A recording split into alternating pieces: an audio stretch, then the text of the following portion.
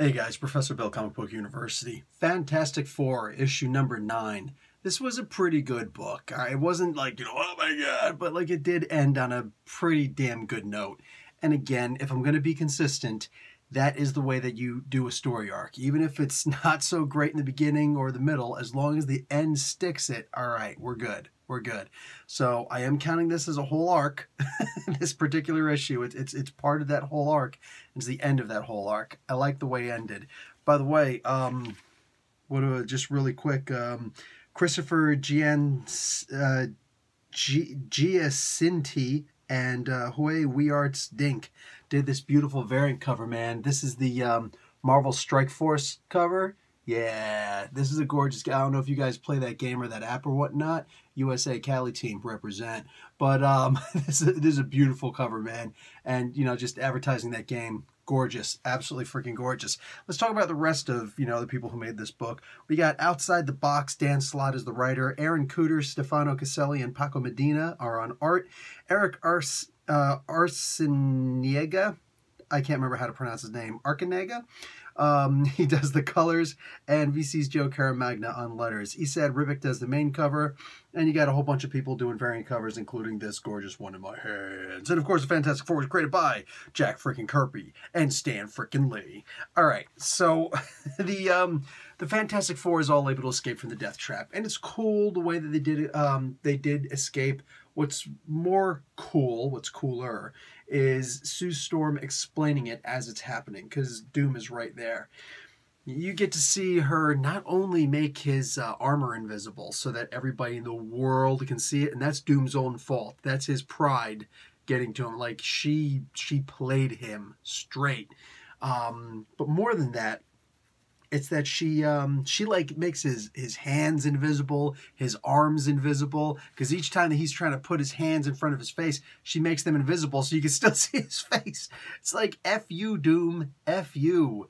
Um this was really good. This is a good way to beat him. Of course you know uh, according to jack kirby he just had a scar on his lip uh his like like i think it was his bottom lip or something like that whatever it was a scar on his chin basically. That was his interpretation of it but you know stan lee had more ideas.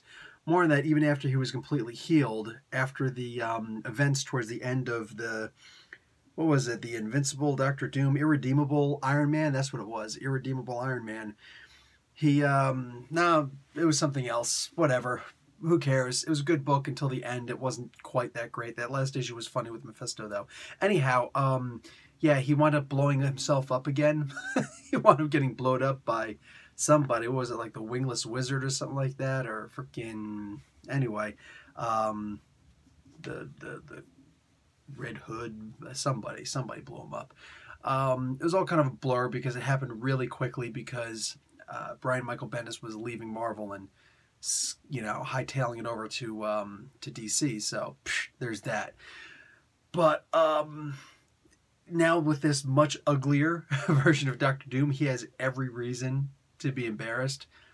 Yeah, this was good. Plus him playing on, uh, plus Slott was really playing up his ego, because while you maybe many people might think he doesn't care what other people think, the fact is Doom totally cares what other people think.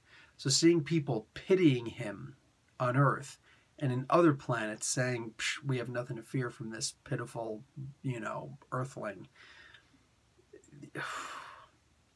Uh, Slott had mentioned that this was going to turn into something that was going to be a permanent fu to the fantastic four from this point on and that was definitely it. Uh, doom is now going to do everything within his power to murder the freaking fantastic four i don't even think valeria getting in between re or between um uh, Sue and and Doctor Doom is going to do much to save her life at this point. He's mad at all of them. He's especially pissed at Sue, and uh, you can see why. This comic book really did like it doesn't change anything that happened before. A whole bunch of silly stuff and whatnot.